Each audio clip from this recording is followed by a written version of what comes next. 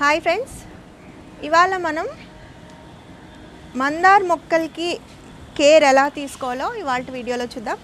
నమస్తే నేను Madhavi and welcome to mat garden Mandar మొక్క కేర్లో ఫస్ట్ uh, ఇంపార్టెంట్ థింగ్ ముందు మన మొక్కని ఎండలో పెట్టాలి సన్లైట్ దానికి five to six hours of sunlight must and షుడ్గా కావాలి. ఎండ లేకపోతే అవి పూలు అవి పూయటానికి అవకాశం ఉండదు. నెక్స్ట్ వాటరింగ్ వాటరింగ్ కూడా మనం కన్సిస్టెంట్గా చేయాలి రెగ్యులర్గా చేయాలి. అండ్ uh, మధ్య మధ్యలో మనకి కుదరక స్కిప్ చేస్తాం అనుకో అది బ్లూమింగ్లో uh, ఉందనుకోండి మొగ్గలతో ఉన్నప్పుడు అప్పుడు ఎక్కువ ఈ మొగ్గలు అవి రాలిపోవడానికి ఎక్కువ ఛాన్సెస్ ఉన్నాయి. సో మొక్కని స్ట్రెస్ చేయకుండా దానికి రోజు ఒకేలాగా వాటర్ చేస్తూ ఉండండి. అండ్ ఇంకో విషయం ఏంటంటే ఇలాగా మొత్తం మొగ్గలతో ఉన్నప్పుడు బ్లూమింగ్లో ఫుల్ బ్లూమింగ్లో ఉన్నప్పుడు మనం ఎక్కువ వాటర్ ఇవ్వాల్సిన అవసరం ఉంటుంది. సో అది కొంచెం గుర్తుంచుకోండి. దెన్ ఈ మందార మొక్కని ఫర్టిలైజ్ చేసుకోవటం ఎలాగా? మందార మొక్కని అన్ని మొక్కల్లాగానే చేసుకోవాలి. మధ్య మధ్యలో మనం కంపోస్ట్లు మెన్యూర్స్ ఇస్తూ ఉంటాం కదా అలాగే పూతలో ఉన్నప్పుడు మొగ్గలు అవి ఫుల్గా ఉన్నప్పుడు మనం లిక్విడ్ ఫర్టిలైజర్స్ అవి ఎక్కువ ఇస్తూ ఉండాలి. దెన్ uh, దానికి phosphorus and uh, potassium rich fertilizers uh, అవసరం అవుతాయి పువ్వులు పూసేటప్పుడు. సో అలాంటి టైంలో మనం ఆర్గానిక్ ఫర్టిలైజర్స్ లాంటివి ఎప్సన్ సాల్ట్లు తర్వాత ఈ బోన్ మీల్ వాటిలో ఫాస్ఫరస్ అది ఎక్కువ ఉంటుంది. బ్లడ్ మీల్స్ బోన్ మీల్స్ అవి. అవి కూడా మనం ఇస్తూ ఉండొచ్చు. Then liquid fertilisers like um, మన కంపోస్ట్ స్టీల్ అవి ఉన్నాయి కదా. తర్వాత వీటిని ఇరిటేట్ చేసే పెస్ట్స్ విషయానికి వస్తే ఈ వైట్ కలర్లో ఉండే మిల్లీ బగ్స్ తర్వాత ఎఫిడ్స్ అవి ఈ ఎక్కువ మనకి ఎక్కువ మనం ఫేస్ చేసే ప్రాబ్లం ఏంటంటే మందార మొక్కకి లేవు ఇక్కడ ఎక్కడాను. కానీ మనం ఎప్పుడు మనం డిస్కస్ చేసాం కదా ఆకులు వెనకాల ఈ కొమ్మల దగ్గర ఉంటాయి. మిల్లీ బగ్స్ తర్వాత ఫిడ్స్ స్పైడర్ మైట్స్ ఇలాంటివి. ఇలాంటి చిన్న చిన్న పురుగులు లాంటివి మనం చూసినప్పుడు మనం చాలామంది అడుగుతున్నారు ఇవి ఈ ప్రాబ్లం ఉంది ఈ ఇన్సెక్ట్స్ ఉన్నాయి ఇవి ఏం చేయాలి అని. ఫస్ట్ అండ్ ఫోర్మోస్ట్ థింగ్ నేను ఒకటే చెప్తున్నాను. మన టెర్రస్ గార్డెనింగ్ కానీ కంటైనర్ గార్డెనింగ్ అంటే చిన్న చిన్న ప్లాంట్సే. అంటే మన అందుబాటులో మనకు అందే అంత ప్లేస్లోనే ఉంటాయి. మరి పెద్దవి ఏం కాదు. So first and foremost thing మీరు ఏం చేయాలంటే అలాంటి ఎఫిడ్స్ కానీ మిల్లీ బగ్స్ కానీ ఇలాంటి చిన్న చిన్నవి ఏమన్నా ఇన్ఫెస్టేషన్స్ ఉన్నప్పుడు ముందు వాటర్ తీసుకుని లేదో ఏదైనా గ్లౌజో ఏదైనా వేసుకుని హ్యాండ్తో మాన్యువల్గా వాటర్తో కానీ ఎలాగైతే అది మీరు ముందు ఫస్ట్ అది రిమూవ్ చేసేయాలి. ఒక బ్రష్ తీసుకోండి లేకపోతే. అది రిమూవ్ చేసేసినాక మనం ఇన్సెక్టిసైడ్స్ అవి మనకి ఏం తోస్తుంది ఏది అందుబాటులో ఉంటుంది అప్పుడు స్ప్రే చేస్తూ ఉండాలి.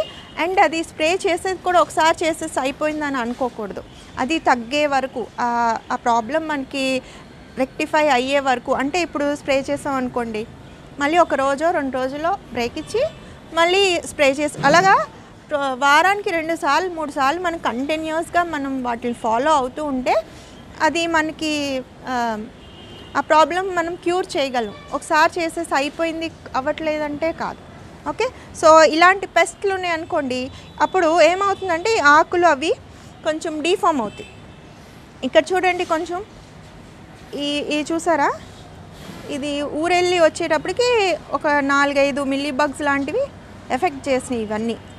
సో అవి తీసేసాను. ఇప్పుడు మళ్ళీ ఫ్రెష్గా వస్తున్నాయి. సో అలాగా ఆకులు అవి డీఫామ్ షేప్ మారిపోతాయి. తర్వాత పురుగు ఈ మొగ్గల్ని వాటిని పట్టుకుందనుకోండి అవి కూడా ఫుల్గా ఈ ప్రాపర్ షేప్లో ఉండకుండా ముడుచుకుపోయినట్టు అలా వంక టింకర్గా వస్తాయి. సో మన పువ్వులు కానీ మొగ్గలు కానీ సరిగ్గా లేవు ఆకులు అవి వంకరగా టింకర్గా కరెక్ట్ షేపుల్లో లేవు కలర్లో లేవు అని అంటే మనం ఫస్ట్ థింగ్ ఏంటంటే అలాంటి ఇన్సెక్ట్స్ ఉన్నాయేమో అని చూసుకోవాలి తర్వాత క్లియర్ చేసుకోవాలి. ఇంకా మనం వీటితో అంటే మందార చెట్లతో మనం ఇంకా ఎక్కువ ఫేస్ చేసే ప్రాబ్లం ఏంటంటే మొగ్గలు చాలా మొగ్గలు ఉంటాయి కానీ అవి పుయ్యక ముందు రాలిపోతుంటాయి. బడ్ ఫాల్ అంటారు. అది ఎందుకంటే ఆ, పడిపోయిన మొగ్గలు కనుక మీరు కొంచెం బాగా అబ్జర్వ్ చేసుకుంటే లోపల ఇలా ఓపెన్ చేసి చూస్తే చిన్న చిన్న పురుగులు లాంటివి ఉంటాయి. వాటిని ట్రిప్స్ అంటారు. ఆ ట్రిప్స్ ఒకటి తర్వాత గాల్మిజ్ అని ఇంకో రకమైన చిన్న ఇన్సెక్ట్స్ ఉంటాయి. అవి ఏం చేస్తాయంటే ఈ మొగ్గల్లో గుడ్లు పెట్టేస్తాయి. ఆ గుడ్లు పగిలినాక అవి లావా అవుతాయి కదా లోపలంతా పువ్వుని తినేస్తాయి కన్నం పెట్టేసి తినేస్తాయి. సో అలాంటి ఉన్నప్పుడు మనకి బయటకు అవి ఏమి కనపడవు. సో మన మొగ్గలు అవి పడిపోతున్నప్పుడు జస్ట్ మనం ఓపెన్ చేసి చూస్తే అప్పుడు మనకు అర్థమవుతుంది. అలాంటప్పుడు మనం ఇన్సెక్టిసైడ్స్ అవి నీమ్ ఆయిల్ ఇలా రకరకాలు మనం డిస్కస్ చేసుకున్నాం కదా వీడియో ఉంది. ఒకసారి అది చూడండి. అలాంటివి అవి స్ప్రే చేసుకుంటే ఆ ప్రాబ్లం రెక్టిఫై అవుతుంది అది రెక్టిఫై అయ్యే వరకు మీరు కంటిన్యూస్గా అది పోయే వరకు స్ప్రే చేస్తూ ఉండండి. ఓకే. అండ్ లీవ్స్ అవి ఎల్లోగా అయిపోయి మొగ్గలు ఈ ఈ కాళ్ళు ఉన్నాయి కదా. చూడండి ఇక్కడ. ఈ కాడలు తర్వాత ఆకులు అవి ఉంటాయి కదా. అవి ఎల్లోగా అయిపోయి పడిపోతాయి. సో మీకు ఇన్సెక్ట్ ఇలాంటివి అప్పుడు మీరు టెస్ట్ చేసి చూడమన్నాను కదా ఇన్సెక్ట్స్ లేవు బాగానే ఉంది అయినా మొగ్గలు అవి పడిపోతున్నాయి అంటే ఐదర్ దానికి న్యూట్రియం డెఫిషియన్సీ అంటే మొక్క హెల్దీగానే ఉంటుంది. కానీ ఇలాంటివన్నీ అవుతున్నాయి పువ్వులు బాగా పుయ్యట్లేదు లేకపోతే పడిపోతున్నాయి అని అంటే ఏంటంటే దానికి దాని సాయిల్లో దానికి అవసరమైన న్యూట్రియంట్స్ లేవు సరిపోవట్లేదు అన్నమాట. సో అలాంటప్పుడు మనం వాటికి అవి బయట నుంచి కొంచెం ఫాస్ఫరస్ అండ్ పొటాషియం రిచ్వి వేస్తూ ఉండాలి. ఇంకా కంపోస్ట్లు అవి ఎక్కువ వేస్తూ ఇలాగా అవ్వటానికి ప్రాపర్గా వాటరింగ్ చేయకపోవడం కూడా ఇంకో కారణం అవచ్చు అంటే ఎక్కువ ఓవర్ వాటరింగ్ కానీ అండర్ అంటే బాగా తక్కువ నీళ్ళు కనుక పోసాం అనుకోండి అలాగా లీవ్స్ అవి ఎల్లోగా అయిపోయి ఆకులు రాలిపోవటం మొగ్గలు రాలిపోవటం అవుతుంది. సో వాటరింగ్ కూడా ప్రాపర్గా చెక్ చేసుకోవాలి. ప్రూనింగ్. ప్రూనింగ్కి వస్తే మన మొక్క ఏ పూలు లేకుండా ఏ గ్రోత్ లేకుండా అలాగా కామ్గా ఉండిపోతుంది చూసారా? అలాంటప్పుడు ప్రూన్ చేసుకోవాలి. మనం కిందకంటూ పెద్ద మొక్కలు అనుకోండి వాటిని ఇక్కడ పెద్ద పెద్ద స్టెమ్స్ అవి కింద నుంచి కట్ చేసేసుకుంటే కింద నుంచి గొబ్బురుగా వస్తుంది. ఒకవేళ కొత్తది మనం తెచ్చామనుకో మా ఇది రీసెంట్గా తెచ్చిన మొక్క. సో ఇది పొడవుగా పెరిగిపోతుంది. ప్రతిదానికి మొగ్గలు వస్తూ ఇలా వెళ్ళిపోతుంది. సో నాకు అలాగా ఇష్టం లేదు. ఇది బుషీగా చేయటం కోసం ఈ పైన ఉన్న టాప్ మోస్ట్ టిప్ ఉంటుంది కదా? ఇలాంటిది. చూడండి. ఇలాంటిది ఉంటుంది కదా? కొత్త మొక్కలకి ఇవి మనం రిమూవ్ చేసుకోవాలి. రిమూవ్ చేసేసుకుంటే ఆ కింద ఇంకా ఎక్కువ బ్రాంచింగ్ అది మనం ఎంకరేజ్ చేసినట్టు అవుతుంది.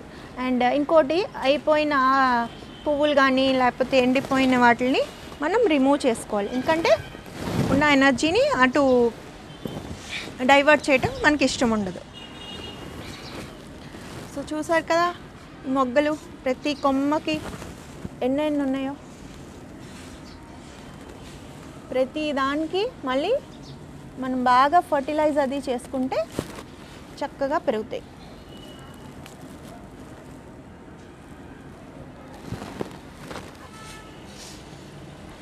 సో మందార్ మొక్క కేర్ ఎలా తీసుకోవాలో చూసాం కదా? ఈ వీడియో మీకు నచ్చితే please do like share and subscribe Mat Gardener. And ఎలాగా ఉందో వీడియో మీ కామెంట్స్ ద్వారా నాకు తెలియజేయండి. And I wish you happy gardening.